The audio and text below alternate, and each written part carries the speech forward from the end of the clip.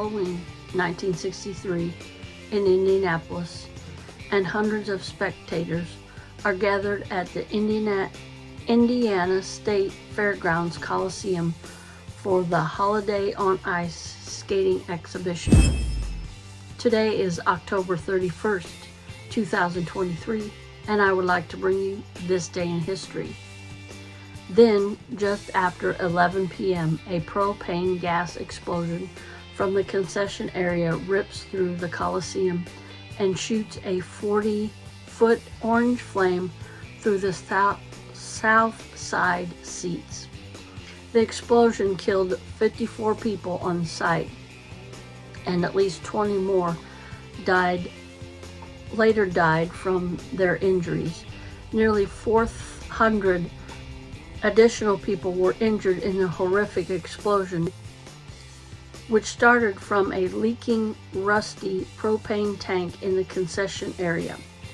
The gas met an electric popcorn machine during the skating finale, which ignited the explosion that sent concrete chunks, chairs, and people into the air.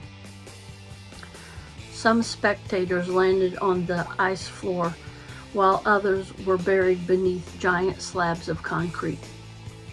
You walked into a nightmare, reporter Richard R. Roberts in the Indianapolis Star. It was worst thing I've seen since the combat in World War II.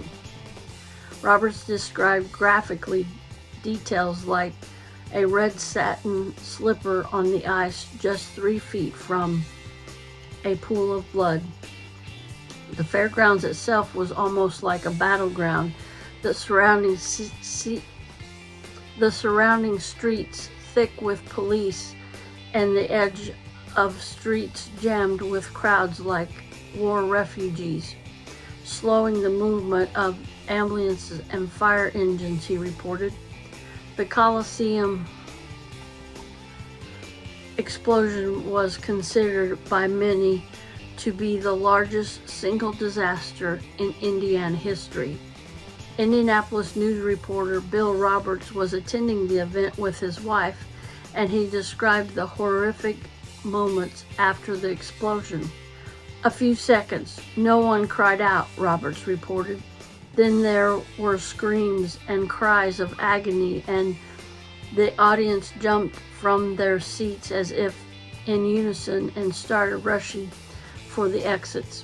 My wife was drawn to a small blonde girl with her mother the child's blue coat was soaked in blood. They were looking for the father. Hundreds of rescuers, including police, firefighters, and the Red Cross and the Salvation Army volunteers, flooded the Coliseum to find survivors. They used bus, buses, ambulances, and private cars to transfer, transport victims to Indianapolis area hospitals. They established a temporary hospital in the cattle barn at the fairgrounds, and the coroner's office set up a temporary morgue on the ice floor where bodies were covered and lined up. The years of years of litigation followed the explosion, with more than 400 lawsuits for amounts totaling $70 million against various insurance companies and the state of Indiana. A grand jury also indicted several people on criminal charges, including the state fire marshal, the Indiana fire chief, the general manager and concession manager of the Indianapolis Coliseum Corporation, and several officers from the gas supplier. There was only one conviction, Edward J. Farner president of Discount Gas Corporations for assault and battery, although the Indiana Supreme Court later reversed the conviction, all charges against the others were dropped. As for the Col Coliseum, it was repaired in 1991 and got a scholarship and renamed the Pepsi Coliseum when that expired, the venue became the Indiana Farmers Coliseum. the venue underwent a $63 million renovation that was complete in 2014. Since the mid 90s, the venue has hosted a Safe Night Halloween event for kids and parents every October 31st.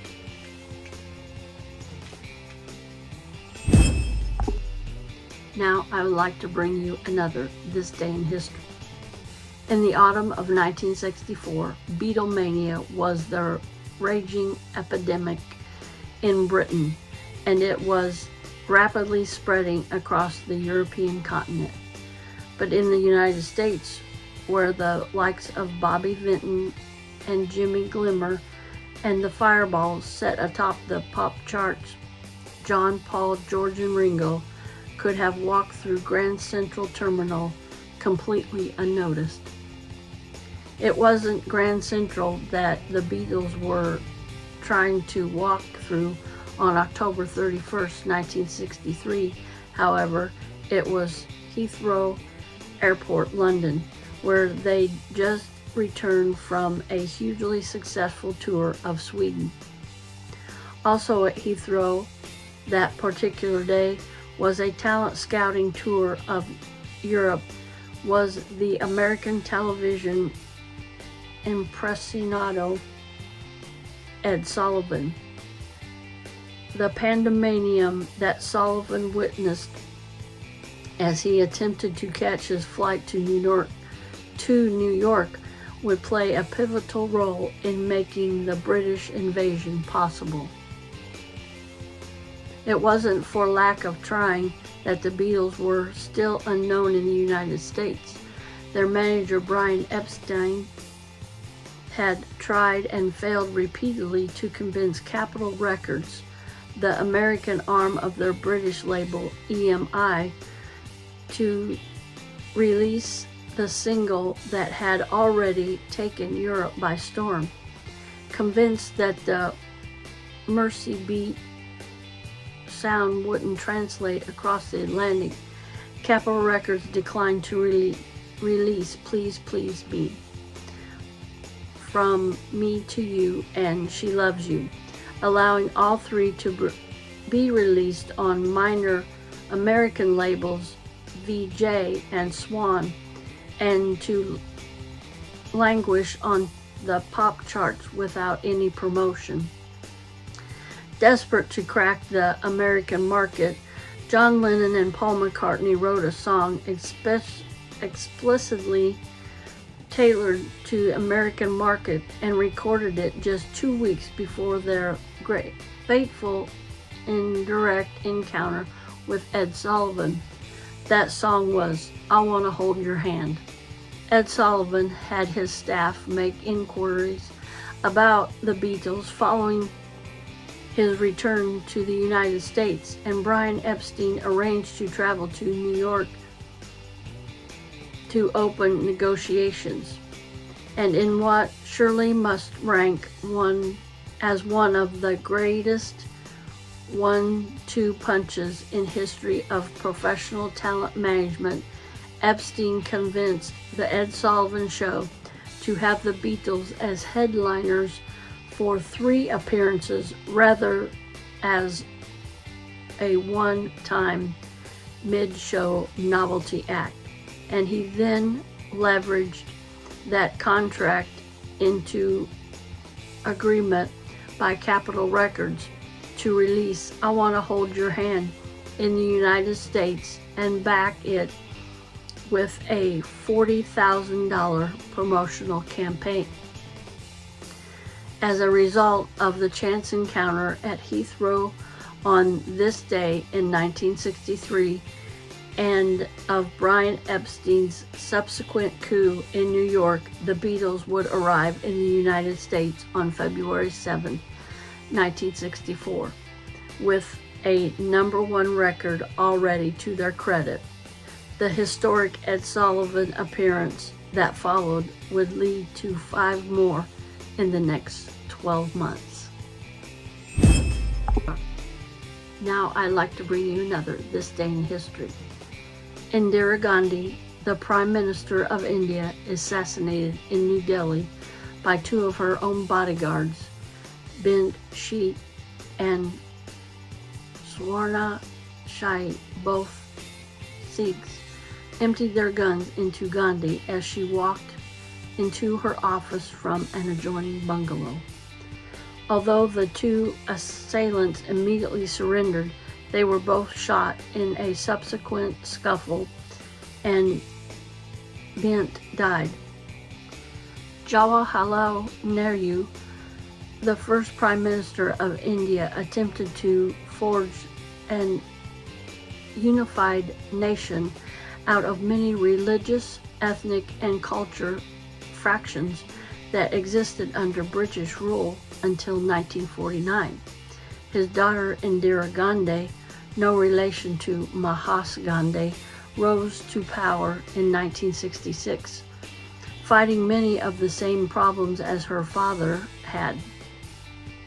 Her own political career was a roller coaster from heights following India's victory over Pakistan in 1971 to the lows of being thrown out of office in 1977 after declaring a state of emergency in 1975, during which time she suspended civil liberties and jailed her political opponents.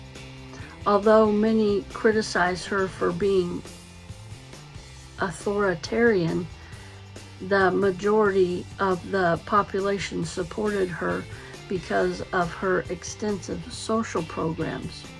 In 1980, Gandhi began prime, became prime minister again, enjoying fairly widespread popularity. However, however, in June 1984, she ordered an army raid on a Sikh temple in Punjab to flood out the Sikh extremists, setting off a series of death threats. Due to the fear of assassination, Beant Singh, her longtime bodyguard, was to be transferred because he was a Sikh. However, Gandhi personally rescinded the transfer order because she trusted him after many years of service. Obviously, this was a fatal mistake for both of them. Satwant Singh, who survived to stand trial, was convicted in 1986 and was executed in 1989. Following Gandhi's assassination, riots broke out in New Delhi. More than a thousand innocent Sikhs were killed. Indiscriminate attacks over the course of two days. Gandhi's son Rajiv succeeded her as Prime Minister. I want to thank you for watching today, and as always, stay safe and stay blessed. And remember to smile because I love you, but more importantly, our Lord and Savior Jesus Christ loves you, and that's the best love that you could have. If you like the content of this video, please give it a and comment down below. Those two things really help my channel, but what really helps me out is if you subscribe. If you haven't subscribed, what are you waiting for? Come on over and subscribe and be a part of our little serendipity subbing. All right, everybody, have a blessed day, and I'll see you in my next video. Bye, everybody.